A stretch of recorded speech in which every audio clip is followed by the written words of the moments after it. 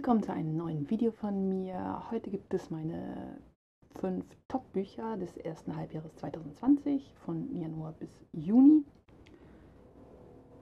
Es könnte zwar jetzt noch sein, dass noch irgendein Top-Buch jetzt kommt Ende Juni, aber wenn, dann nehme ich es halt in den nächsten, äh, ja, ins nächste Top-Video. Aber egal, ich habe jetzt nicht ganz fünf, ich habe äh, eigentlich sechs, wobei eins vielleicht nicht ganz zählt. ich werde einfach mal anfangen. Und zwar, also die Bücher haben nicht alle unbedingt 5 Sterne von mir bekommen. Ein paar sind auch mit 4 Sternen dabei, aber auch die haben mich sozusagen positiv überrascht. Und deshalb sind die mit auf dieser Liste. Aber zum ersten haben wir natürlich ein 5-Sterne-Buch und zwar von Brandon Sanderson, Skyward. Ähm, das ist die äh, UK-Ausgabe, weil ich die Cover halt so schön fand. Ich glaube, auf Deutsch gibt es das noch gar nicht. Oder gibt es das mittlerweile auf Deutsch? Könnt ihr mal irgendwie in die Kommentare schreiben, wenn ihr das wisst ja, der gute Brandon Sanderson ist ja sehr bekannt unter allen High Fantasy oder Fantasy-Lesern, äh, gerade so mehr so Erwachsene-Fantasy. Und da hatte ich auch schon die ähm, Kinder des Nebels-Reihe von ihm in den ersten Band gelesen. Also der kann schon gut schreiben, so ist es nicht. Ähm, ja, aber ich muss sagen, tatsächlich äh, hat er mich in diesem Band nochmal überrascht, weil es ist ja tatsächlich ein Sci-Fi-Jugendbuch. Und er hat sich auch ein bisschen Mühe gegeben, das so ein bisschen, ähm, ja, wie soll ich das sagen, so ein bisschen lockerer zu schreiben und so ein bisschen ein Tacken weniger Details. Also wer schon mal Brandon Sanderson gelesen hat, weiß, dass der auch beim Worldbuilding extrem detailreich vorangeht. Und bei den Fantasy-Lektüren kann das schon mal irgendwie sehr große Ausmaße annehmen. also hier war er tatsächlich mehr so auf die Charaktere fokussiert, auch aufs Worldbuilding, aber halt auch auf die Charaktere. Und unsere Hauptprotagonistin, äh, Sky heißt sie, glaube ich, ähm, ja, ist die Tochter eines Piloten. Also das Ganze spielt im Weltall auf einem fremden Planeten. Und ja, sie möchte eigentlich auch gerne Pilot werden. Allerdings ist ihr Vater quasi unehrenhaft, naja, nicht entlassen, sondern gestorben in dieser Armee. Und deshalb hat sie eigentlich nicht wirklich eine Chance, aber sie versucht sich trotzdem da reinzukämpfen und trotzdem Pilotin zu werden. Also eine Kämpfernatur, was ich auch sehr gut finde. Ist also eine starke weibliche Protagonistin, was eigentlich auch erstaunlich ist für männliche Fantasy-Autoren. Aber egal, also ja, das hat mir auf jeden Fall schon mal sehr gut gefallen. Ich finde es auch ganz gut, dass sie am Anfang recht schwer hatte. Ähm, wobei sie dann aber auch schon so ein bisschen Mary Sue ist. also, das, was sie dann äh, macht, das kann sie eigentlich auch sehr gut. Also es ist nicht mega, mega übertrieben, also ein bisschen ist das schon. Aber das finde ich jetzt hier nicht so schlimm. Ähm, das Worldbuilding finde ich sehr spannend, ist auch sehr interessant, also wie das Ganze so gemacht ist, wobei das halt jetzt nicht so episch ausufernd beschrieben ist. Oder so. Es gibt noch ein paar Fragen, die man so hat, die dann wahrscheinlich in den nächsten Bänden beantwortet werden, oder auch nicht, hoffe ich zumindest. Und ähm, sind dann noch so ein paar Sachen offen, ne, in der Vergangenheit, warum das alles so ist, wie es ist und wer diese Feinde sind, gegen denen die halt immer kämpfen müssen. Und da bin ich auf jeden Fall gespannt, wie es da weitergeht. Ähm, und ja, was hier auch sehr, sehr gut war, oder das muss jetzt nicht immer gut sein, aber also hier hat es wirklich gut gepasst, ist, dass jetzt keine äh, mega dramatische Liebesgeschichte im Vordergrund steht. Ähm, das ist ja viel bei Jugendbüchern so. Also meistens geht es fast ausschließlich nur um irgendeine Liebesgeschichte. Also das war tatsächlich nicht so. Es geht so ein bisschen um Freundschaft. Also sie hat halt eine Klasse nachher, ähm, die aus verschiedenen Charakteren besteht und die werden auch ein bisschen näher erläutert. Dann stehen halt so Freundschaftsbeziehungen und solche Sachen. Ähm, ja, deswegen, also Charakterentwicklung ist auch sehr gut gelungen. Aber wie gesagt, kein mega dramatische Liebesgeschichte im Vordergrund. Aber wenn ihr das gerne mal so ein bisschen ähm, das mal als Abwechslung zum Rest sowas gerne mal lest, so wie ich, kann ich euch das auf jeden Fall empfehlen. Also es ist jetzt auch nicht so, ähm, lasst euch von den Cypher auch nicht so abschrecken, es ist nicht so mega hochtechnisch, wobei ähm, tatsächlich auch ein paar Skizzen von Raumschiffen hier vorkommen. Aber das ist jetzt hier nicht äh, so, dass man das der Story nicht mehr folgen könnte oder so. Also das hat er gut ähm, ausgewogen gemacht, fand ich. Für Deswegen da freue ich mich schon auf den zweiten Band. Ich hoffe, den kriege ich auch mal irgendwann gelesen. ja. Und dann habe ich, äh, das war jetzt Sci-Fi, ich habe ein bisschen Abwechslung hier drin. eine Reihe, die ihr wahrscheinlich jetzt auch schon nicht mehr sehen könnt. Und zwar die Iron Pill-Reihe von Veronica Rossi gebannt. Ähm, das ist der erste Band. Ja, die habe ich ja jetzt äh, innerhalb der letzten Monate gelesen komplett. Deswegen kam mir jeden Monat irgendwie ein Band davon vor. Und ich habe den ersten Band tatsächlich auch fünf Sterne gegeben. Ähm, das ist tatsächlich wirklich eine Dystopie, die mir wieder extrem gut gefallen hat, weil die viele Klischees nicht hatte, die ich schon nicht mehr sehen kann. Aber halt viele Aspekte von Dystopien, die mir sehr gut gefallen. Zum einen haben wir eine sehr spannende Welt, also es ist ja quasi so zweigeteilt. Also die eine Hälfte der Menschheit, die es noch gibt, lebt unter Kuppeln und die andere Hälfte draußen in der Wildnis, wobei diese Wildnis von so einer Art Äther-Sturm äh, Himmel sozusagen überdeckt ist und ähm, ja, das Leben da auch sehr schwer macht, weil es gibt immer wieder Stürme und dann gibt es ähm, ja, sowieso, wie so sehr schwere Gewitter, also dann gibt es halt ähm, Feuer, die alles niederbrennen etc. Und ja, aber das, äh, ja, das Leben ist weder in der einen noch in der anderen Hälfte sozusagen besonders einfach und die haben auch Probleme und Aya, ja, da passiert halt ganz am Anfang gleich was. Also es fängt auch sehr actionreich an. Auf jeden Fall, ähm, durch das, was dann passiert, endet sie halt in der Außenwelt, obwohl sie eigentlich zu den Kuppelleuten gehört und lernt dann so diese Außenwelt kennen. Da trifft sie halt auf Perry. Perry ist halt einer aus der Außenwelt. Ja, und dann versuchen sie sozusagen ihre Welt mehr oder minder gemeinsam zu retten. Ähm, ja, also ich fand halt die Details von dieser Welt sehr, sehr knuffig. Ich fand die Liebesgeschichte, also hier gibt es wieder eine Liebesgeschichte, das ist ein Jugendbuch. ähm, die fand ich sehr schön, weil die sehr langsam entstanden ist. Also es gab kein Insta-Love, das fand ich sehr, sehr gut. Es gab auch kein Love-Triangle, es gab halt solche Sachen nicht, die ich extrem nervig finde. Deswegen fand ich das sehr, sehr gut. Ähm, ansonsten ist die Liebesgeschichte aber echt süß. Und ja, die Charakter fand ich, also die Charaktere generell fand ich sehr, sehr gut. Auch die Nebencharaktere, also nicht nur Ian Perry, sondern auch ähm, ja, Perrys bester Freund. Äh, andere Freunde von ihm werden halt sehr gut beschrieben. Ayas Familie sozusagen, Freunde und auch die eher Bösewicht, beziehungsweise die Antagonisten sozusagen zu unseren äh, Charakteren. Ähm, ja, die sind auch nicht so schwarz-weiß. Also die haben auch durchaus ihren, ihre Ziele, die sie halt verfolgen, die halt nicht ganz so nett sind, aber die halt schon irgendwie Sinn machen. Also es ist nicht irgendwie so, keine Ahnung, der Höllenfürst auf Erden, der nur aus dunkler Materie besteht und keine Ahnung, was da irgendwie. Also es auch die ähm, Bösewichte sozusagen haben einen Charakter. Auch das fand ich sehr gut. Also das war tatsächlich wieder eine, eine Trilogie. Ich habe jetzt die komplette Trilogie auch schon gelesen, also kann ich euch auch komplett empfehlen. Aber ihr könnt gerne mal im ersten Band reinlesen. Und er ist als Jugendbuch natürlich auch wieder sehr schnell und leicht geschrieben. Also es ist jetzt wirklich nicht so, als würde ihr hier in irgendwie Details untergehen oder so. Also es ist ähm, Jugendbuchschreibstil schon. Deswegen eine Empfehlung von mir. Und dann habe ich ein Buch, das ist jetzt mehr, geht mehr so in Urban Fantasy Richtung, ähm, das mich sehr überrascht hat, und zwar an Ursula von Cynthia Hand. Äh, die Reihe ist schon ein bisschen älter, von 2011 oder sowas.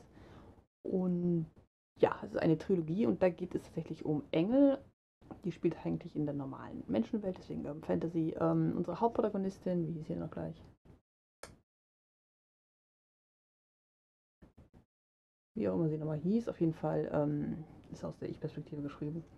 Deswegen steht jetzt kein Name. Ähm, ja, ist ein Halbengel sozusagen, weil ihre Mutter ist auch ein Halbengel, also eigentlich sind Viertelengel, Viertelengel. So ungefähr. Auf jeden Fall ähm, hat sie halt eine besondere Fähigkeiten, die halt Engel haben, aber auch besondere Pflichten.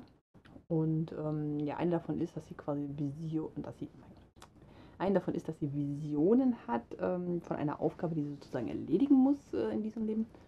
Und ja, danach richtet sich halt das Leben aus dieser Engel. Und das, so fängt das Buch halt an, dass sie halt äh, ihre ersten Visionen hat und dann sozusagen ihre Aufgabe ja, versucht zu erfüllen sozusagen. Schwer zu beschreiben, egal. Ähm, hier fand ich wiederum sehr knuffig, dass ähm, diese Engelthematik eigentlich sehr logisch aufgebaut und erklärt wurde. Also äh, es macht so in den Kontext, der hier halt aufgebaut wurde, macht es halt Sinn. Das finde ich immer sehr gut, wenn er so ein bisschen die Fantasy-Elemente, die man sich halt überlegt, dass die halt in den Zusammenhang, wenn es jetzt wirklich gäbe, auch halbwegs Sinn machen. das äh, finde ich immer sehr gut. Ähm, ja, und unsere Hauptprotagonistin ist halt diejenige auch mit den ja, besonderen Fähigkeiten in diesem Buch. Und mit denen hat sie auch so ein bisschen zu kämpfen. Also sie muss noch viel lernen am Anfang und ähm, entwickelt sich halt weiter. Das fand ich auch sehr gut. Es gibt natürlich auch wieder eine Liebesgeschichte hier.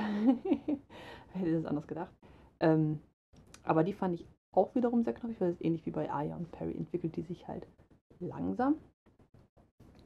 Und ähm, tatsächlich ist der Love Interest, also der Typ tatsächlich diesmal derjenige ohne die Fähigkeiten und auch nicht so der typische Klischee Bad Boy, äh, der, weiß ich nicht, krass gemein zu ihr ist und so, sondern ist der immer ein netter Typ. das fand ich also ganz erstaunlich. Ähm, ja, also sind so ein paar Sachen, äh, die halt umgeswitcht sind, was ich sehr gut finde. Also ich mag es immer sehr gerne, wenn die weiblichen Protagonisten, die auch meistens halt die Hauptrollen spielen, dann auch vielleicht mal diejenigen sind mit den Fähigkeiten und ähm,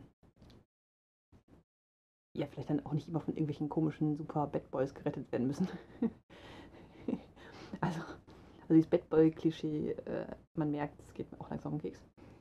Deswegen fand ich das sehr, sehr knuffig. Ähm, auch die Geschichte an sich ist spannend und sie wird auch nicht ganz aufgelöst und man, man, also es gibt auch genug Rätsel sozusagen für die zukünftigen Bände und ich denke, dass äh, die Geschichte auch spannend bleibt zum Ende, wobei ich halt den zweiten Mal noch nicht gelesen habe.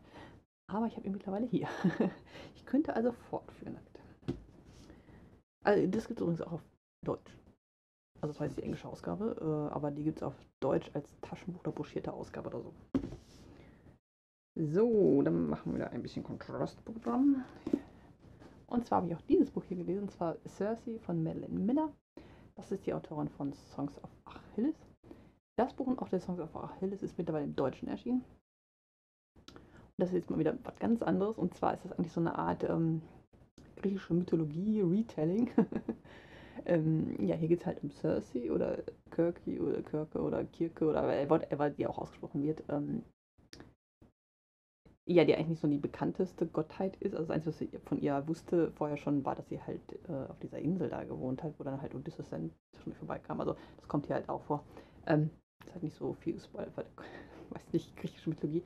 Äh, ja, ist jetzt nicht so unbekannt, aber ähm, genau, also wir begleiten die durch ihr Leben von ihrer Geburt an, ja, bis quasi zum Ende. Und ja, das ist halt wirklich wie so ein Leben beschrieben. Also sie hat, ist ein Charakter mit, ja, mit äh, Eigenschaften und, das schreiben soll, also mit Charakter halt. und man kann sich so richtig in sie hineinversetzen. Das Ganze, also so kommt man vor wie halt so ein lebender Mensch. Weil sie ja kein Mensch, sondern eine Göttin. Eine lebende Göttin. wie auch immer ich das jetzt, äh, was auch immer ich damit sagen wollte. Auf jeden Fall ähm, begleiten wir sie halt dann ja, kriegen wir auch mit, wie sie sich quasi charakterlich weiterwandelt. Also, ähm, ja, sie trifft halt verschiedene Götter und Helden und so, so äh, im Laufe ihres Lebens und entwickelt sich damit auch weiter. Ich will jetzt auch nicht zu viel verraten, weil so alles muss man ja vorher jetzt auch nicht wissen. Aber es hat mir halt sehr gut gefallen, weil es halt so wirklich, also weniger so geschichtsbuchmäßig, sondern wirklich so, so romanmäßig war obwohl halt viele geschichtliche Fakten sozusagen vorkamen. Und sie halt wirklich anfühlte wie wirklich ein richtiger Charakter, den man halt hier verfolgt. Das fand ich auf jeden Fall sehr gut, kann ich Fall weiterempfehlen. Song of Achilles habe ich noch nicht gelesen, aber da könnt ihr auch gerne reingucken, wenn ihr wollt. Und das ist ein Einzelband. Ähm, ja, also das wollte ich mal so als Kontrast hier mal aufführen. Und dann habe ich noch einen schönen Band hier und zwar Splintered äh, von A.G. Howard. Das ist der erste Band dieser Dark Wonderland-Reihe, die es auch im Deutschen gibt. Ähm, da dürft ihr auch schon einiges von gesehen haben, weil ich habe den ersten, zweiten Band auch schon gelesen jetzt mittlerweile. Dritten Mal muss ich noch lesen. Und äh, das hat mich tatsächlich auch positiv überrascht. Also am Anfang hatte ich ein bisschen Schwierigkeiten reinzukommen, aber es lag so ein bisschen am Schreibstil, das war die englische Ausgabe. Aber umso länger ich irgendwie das äh, hinter mir liegt, umso besser fand ich es irgendwie. Also es ist ähm, tatsächlich ein Alice in Wonderland Retelling, wo sehr, sehr viele Elemente von Alice in Wonderland vorkommen. Also im ersten Band wird quasi die komplette Geschichte nur anders halt nochmal erzählt. Ähm, also für alle Alice in Wonderland-Fans ist es auf jeden Fall was. Ähm, was ich sehr gut fand, das, das Ganze wurde halt ein bisschen düsterer neu erzählt, wobei das die originale Geschichte ist auch schon ein bisschen creepy, aber also hier sind halt manche Elemente einfach noch ein bisschen düsterer und das jetzt irgendwie, das irgendwie in Horror oder sowas äh, übergeht. Ähm, ja, unsere Hauptprotagonistin ist auch sehr speziell, also sie ist eine Nachfahrin von Alice und ähm, hat halt besondere Fähigkeiten. Zum einen hat sie Insekten sozusagen hören, die, die quasi ihren Kopf reden, also sie, sie hört quasi Stimmen. ähm, was er auch nicht so einfach macht. Und sie hat auch ein bisschen makabres Hobby, sie ist Künstlerin. Also sie geht noch zur Schule, aber sie äh, macht künstlerische Sachen. Unter anderem macht sie irgendwie so Collagen, äh, so abstrakte, wo dann irgendwelche äh, Insekten drin verarbeitet werden. ist ein bisschen seltsam, ein bisschen creepy, aber ähm, fand ich interessant. Also das ist mal so ein bisschen andere Hobbys sozusagen von den Charakteren. Ähm, ja, die Nebencharaktere finde ich knuffig, wobei hier tatsächlich wieder so eine Art Love Triangle vorkommt, aber es geht. es gibt ja wieder eine Liebesgeschichte, aber wie gesagt, also diese ganze Alice-Geschichte ist halt tatsächlich mehr im, im Vordergrund, würde ich sogar sagen, als Liebesgeschichte. Oder es hält sich so vage, vage. Mhm. Ja, deswegen ist das nicht so. Also es geht nicht nur um die Liebesgeschichte. Das wäre mir dann zu viel des Guten. Aber also hier geht es tatsächlich gut. Ähm, also, ich noch erzählen soll. Also Charaktere sind äh, speziell, das Setting ist speziell und halt dieses ganze Retelling äh, fand ich sehr knuffig. Ähm, der Schreibstil ist auch ein bisschen seltsam, aber ähm, ja, da muss man sich halt so ein bisschen reinfuchsen. Könnt ihr gerne mal einen Blick reinwerfen. Also die Reihe, wie gesagt, gibt es auch auf Deutsch. Und die Cover sind wunderschön. und ich freue mich da auch schon auf den dritten Band. Also muss die Reihe auch echt mal fortsetzen, also die, die ich jetzt hier habe. Ähm, genau, das waren quasi meine fünf Top-Bücher vom ersten Halbjahr. Jetzt habe ich sozusagen noch ein extra. Und zwar eine Graphic Novel. Und zwar die Stadt der träumenden Bücher von Walter Mörs und Florian Biege. Das ist ja sozusagen die Graphic Novel zu den Buch, beziehungsweise den ersten Teil des Buches. Also es gibt zwei Graphic Novels. Ähm, ja, das ist äh, tatsächlich wunderschön illustriert, komplett farbig durchillustriert und auch tatsächlich wunderschöne Detailreise. Einen kleinen Einblick hier.